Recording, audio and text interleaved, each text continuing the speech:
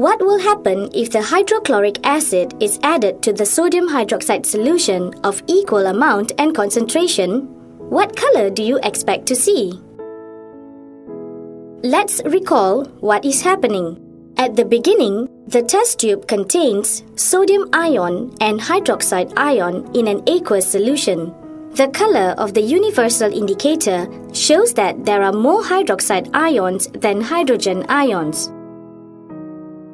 As hydrochloric acid is added, the hydrogen ion from the acid will form water molecule when combined with hydroxide ions from sodium hydroxide solution. The chloride ion from the acid will form an ionic compound when combined with sodium ion from sodium hydroxide solution.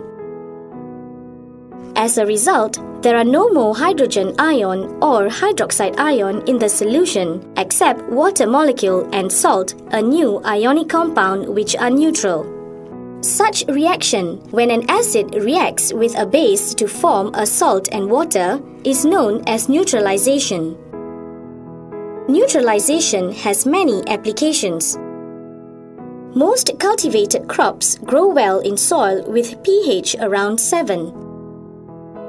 To overcome the problem of acidic soil, calcium oxide, calcium hydroxide, or calcium carbonate is used to neutralize the soil. Sheep, cattle, and poultry rearers use calcium hydroxide to maintain sanitary condition by destroying the microorganisms involved in decomposition of organic waste as well as reducing odors. Factory effluents from electroplating and manufacturing industries are often acidic. If left untreated, it will pollute nearby streams, river or drain. Such effluent is neutralized by liming in the waste treatment plant before discharging it into the stream or river. In energy industry, power stations usually use coal to produce electricity. The burning fuels will liberate sulfur dioxide gas, which is acidic and pollute the air.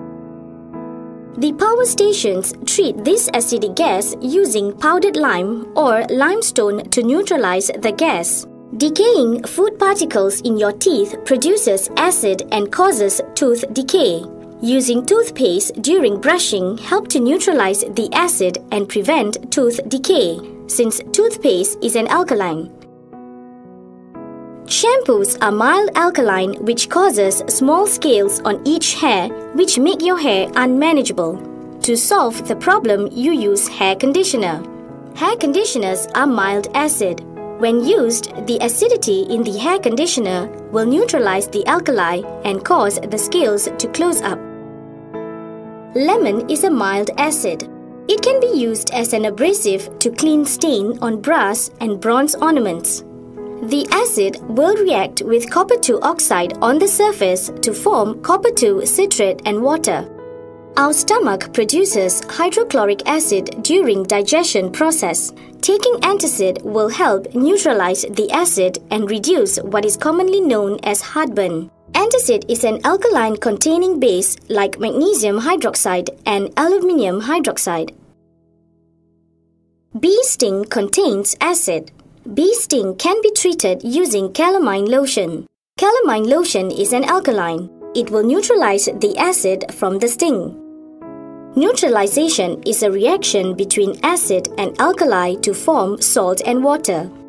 We can simplify this into a word chemical equation.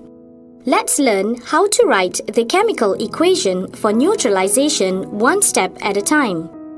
These are your reactant, hydrochloric acid and sodium hydroxide solution.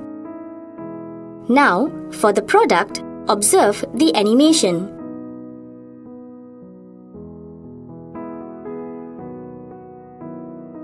Next is to balance the equation.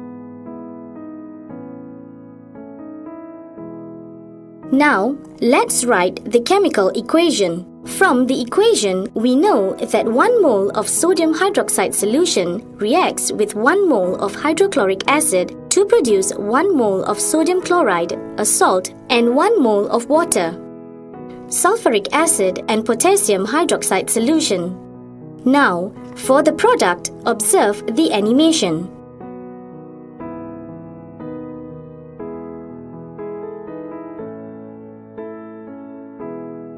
Next is to balance the equation.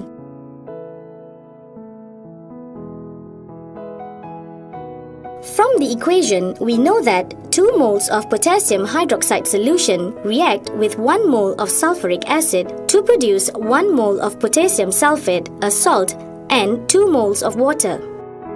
In this lesson, you have learned that neutralization is a chemical reaction between an acid and an alkali producing salt and water. The definition can be expressed in a general chemical equation. Neutralization has many applications in our daily life, for example, in agriculture, health, and manufacturing industries.